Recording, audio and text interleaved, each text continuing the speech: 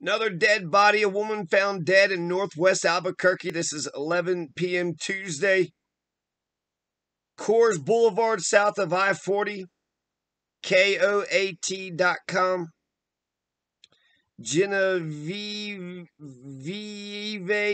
Glass reporting. Albuquerque police say a woman was found dead in northwest Albuquerque. Police say around 11 p.m. Tuesday, officers in the Southwest Area Command were dispatched to the area of 475 Coors Boulevard Northwest to reports of an armed robbery. That's just south of I 40. When officers arrived, they found a woman dead inside the Canna Spa Massage building. The Canna Spa Massage building. They said they have not said how she died or if there are any suspects. Detectives with the APD homicide unit are investigating. So as they're probably assumed to be foul play, no doubt, right? Now I think that uh, I want to say that there there was a picture. I think I saw this reported somewhere. So Canna Spa Massage.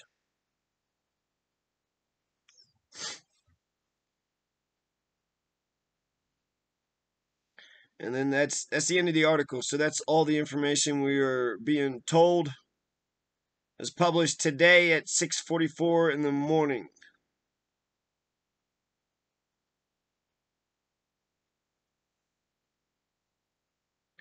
Now here's like a maybe just a picture of the outside of it. I don't know. I thought that the ladies. I saw a report where they had posted the lady, but um, that's in San Diego. Never mind. Never mind. Never mind. But that's the um yeah, that's the article there. So Canna Spa Massage Building, a woman was shot dead. There's an armed robbery, right? So it's probably that 11 p.m. Tuesday, Southwest Area Command, Area 475 Coors Boulevard. Reports of armed robbery south of I 40. And that's it. So RIP to the lady. Hopefully, we'll find the killer, which, knowing this amount of information, it's very unlikely we'll. Oh, God. Yeah, there's a major spike. In fact, there's so many homicides happening in New Mexico. I can't keep up. I can't keep up. New Mexico. Stop killing each other. Stop killing each other, New Mexico. Jesus fuck.